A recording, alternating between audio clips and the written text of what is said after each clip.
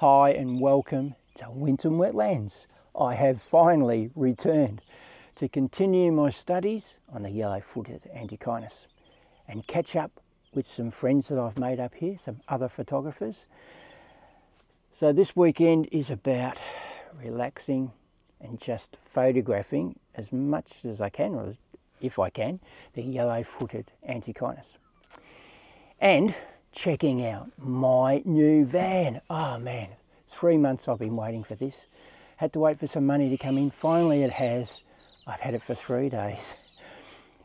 And it's only a month being made from the factory. So she's brand spanking new.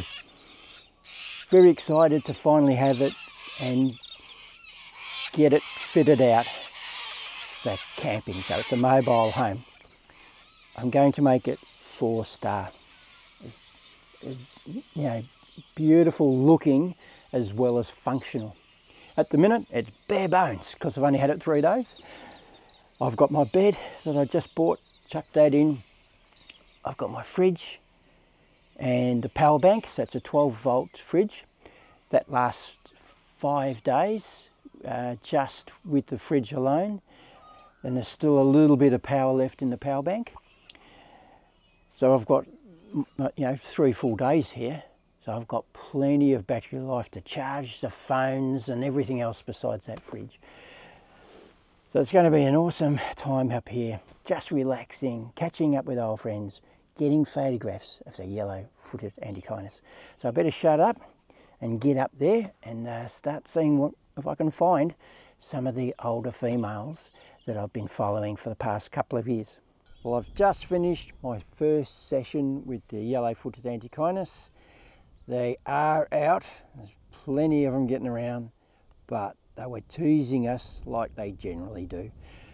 So I was accompanied with Brian. Brian's another photographer that lives in Benalla that I've gotten to know. And uh, yeah, we're both sort of just looking at each other going, oh, little buggers, they're just teasing us. There's nothing much you can do. You just got to sit and be patient. If you try and move around, you're going to miss an opportunity. You move from one place to get a better view, and all of a sudden they run where you were. So it. You just got to sit, plonk there, wait. Anyway, I've moved on from that. It's that time of day, nearly 10 o'clock, where they're all gone back into their uh, hollows and going to have a snooze for the day. So later on in the afternoon I'll catch up with them, maybe about five o'clock. But at the minute I'm heading out into the open paddocks where the robins were hanging out last year at this time of year. So I don't know, maybe we might get something nice, but it's just a bit of an exercise after all that driving up here, three hour drive. My legs need it. Sitting down on a log there for a while. So yeah, I'm going to stop waffling on and see what I can get out of the rest of the day. It's late in the afternoon and I'm out for my second session with the yellow-footed Antechinus. And just at the base of this tree here, it's got a lot of rubbish at the bottom. There's a yellow-footed Antechinus, a very young one, getting around at the base there looking for insects.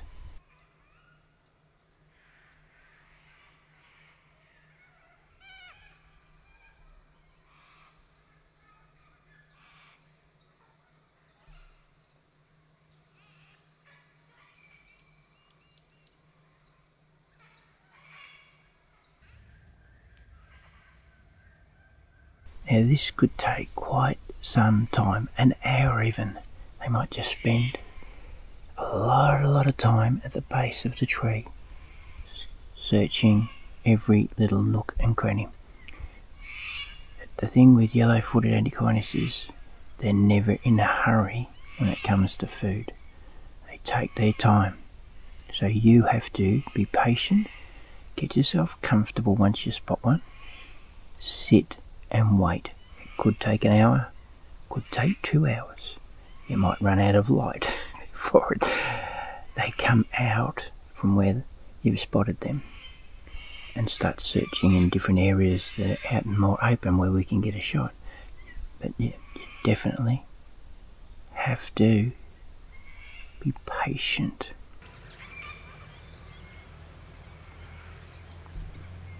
I am losing the light. It's been an interesting afternoon. I finally got a shot of a male yellow-footed antechinus.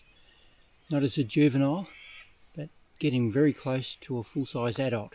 That is awesome. And how do I know that it's a male? I took some shots of him as he was bounding away. So I could see his bits. Definitely a male. What a great start. I don't think there's anything fantastic there. Well, I'm pretty sure there isn't.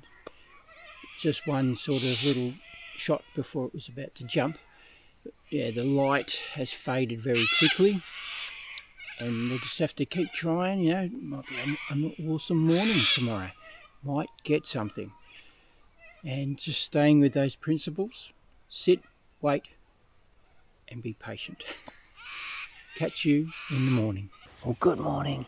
I'm out for my first session of the day with the yellow-footed antechinus. I've been following one for quite some time, watching it off in the distance, slowly working its way up to me. I got a couple of shots, man, all that good. It's not what I want. Eventually come right up to me and ducked into that log that's just in front of me. So I'm, I'm waiting it out, waiting for it to come out because it, it seemed that it, you know, it spotted me got a little bit nervous and then ducked in there. So fingers crossed it comes out and we can get the shots that I'm after. The ones that I got before just, yeah, they're, they're not very good.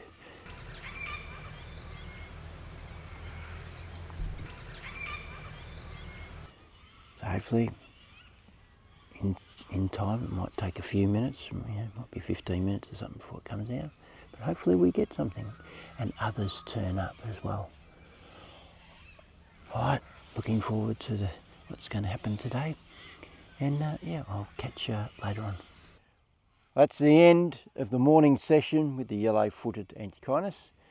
They've all gone back into their hollows to have a snooze now. Yeah, only that one opportunity.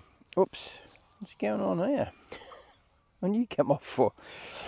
Yeah, it's finished. So I've come down to the water's edge, I'm just going to sit here and chill out. Something comes my way, that'll be a bonus. But otherwise, I just enjoy listening to birds chirping and uh, just enjoying being out in nature. Catch you later.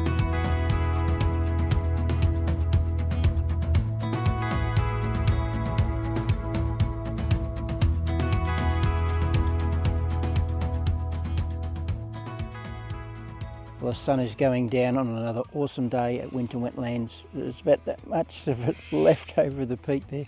Nice colour in the sky. Got a yellow-footed antechinus over here. Two males have come out and I've been following them.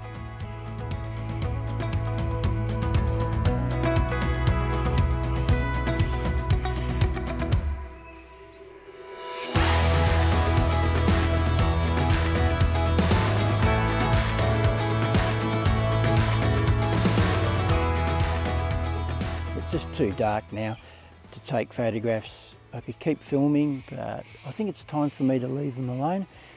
Head on back and have some dinner. Yeah, uh, catch you in the morning and we'll see what happens, you know. Maybe we might be in for a real treat and get some awesome stuff.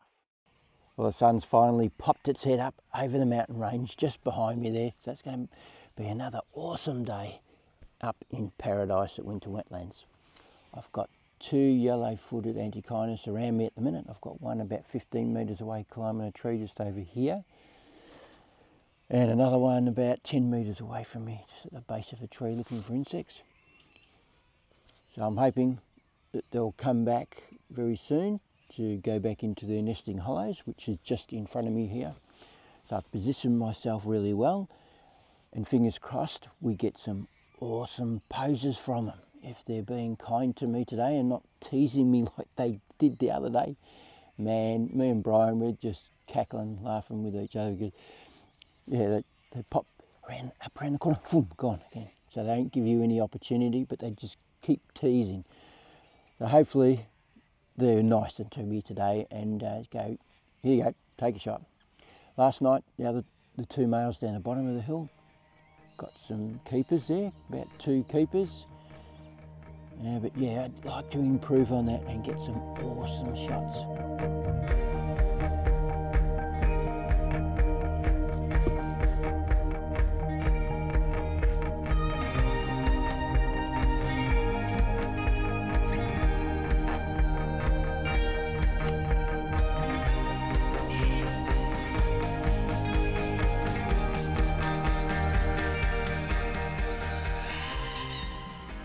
Middle of the day, it is stinking hot.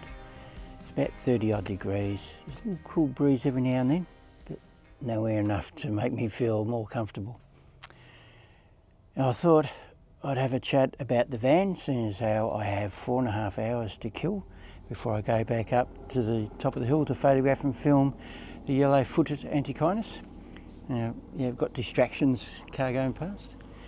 And you might see a little bit of cardboard across the top of the screen there. I've got it as a sunshade, keep it off the lens. Anyway, yeah, I thought I'd talk about my experience with the van so far. I have to say, I'm thoroughly enjoying it. There's another car. so what's heavy traffic around here today.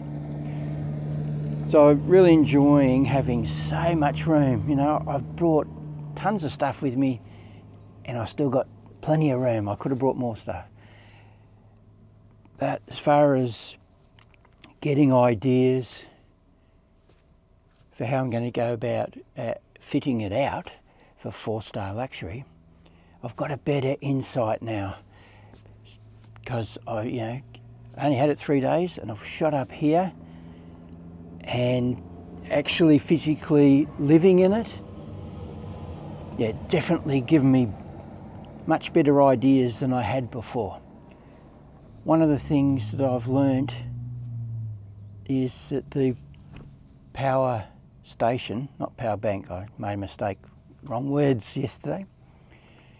The power station, it runs with the fan far too long in the van because there's just not enough, you know, nice cooler air circulation for it.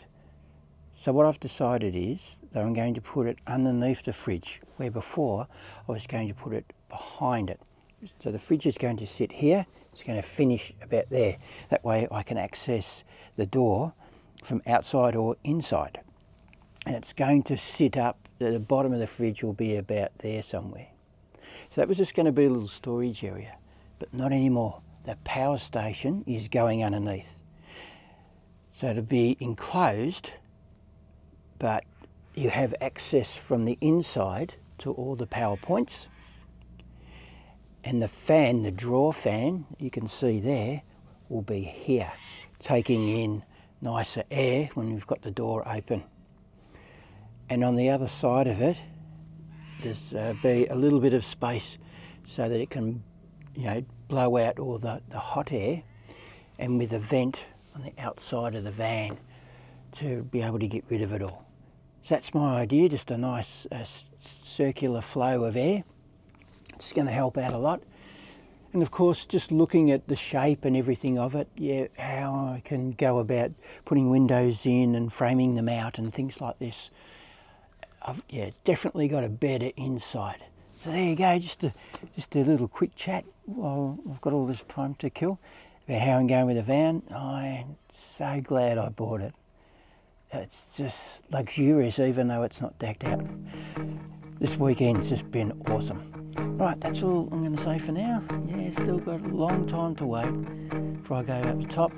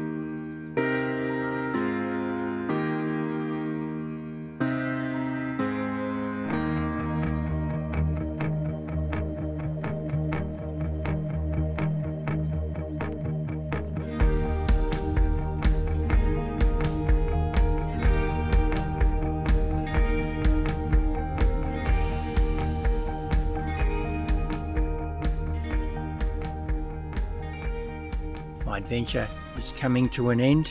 The sun is going down. It's got about five minutes or six minutes to go before it disappears over the horizon there. Beautiful looking orange glow. It's awesome. Now, this has been the most productive day so far. And it generally is the case the last day. You're going home. Just watch out for a young female yellowfoot run past me here. Giving me some really good stuff, but it's just getting a bit too dark now for the camera to get a decent image. But oh, I have got some keepers there. I'm not sure how many. So this morning I was up the top and I've come down a little bit further because I could see some action down here. There wasn't anything much going on up there. So I come down here and all of a sudden I was just getting tons of stuff. These two females that I was following this morning, yeah, that, they were very generous, extremely generous, and even more generous tonight. They have got, yeah, quite a few keepers, that's for sure. So we'll wrap the video up now as the sun's almost disappeared. It's been an awesome weekend, or long weekend, I should say. Catching up with friends, getting some awesome shots, not just of the yellowfoots, but I've got some nice ones of birds as well. Uh, and the van checking it out before I start on it, yes, it's given me a good insight into things I didn't even think about. Now, if you'd like to subscribe to my channel and get more of this amazing stuff, click on my pretty little face just down there in the bottom right hand corner of the screen. Hit the little bell, you'll get notification whenever I do anything else. And if you want to go and have a look at all the other mad and crazy things I've been doing in the past, click on my icon right here at the end of this video, take you to my channel. I talk about photographing in the forest and open forest environments. And when I go on adventures, I always take you with me. When I buy cameras and camera accessories, I do reviews on them and give you my honest opinion on them. It's going to have a browse, there'll be something there of interest to you, I am sure. And just remember, if you don't do, you don't get. So get out there and start photographing and filming wildlife. And I'll catch you on the next one. Bye.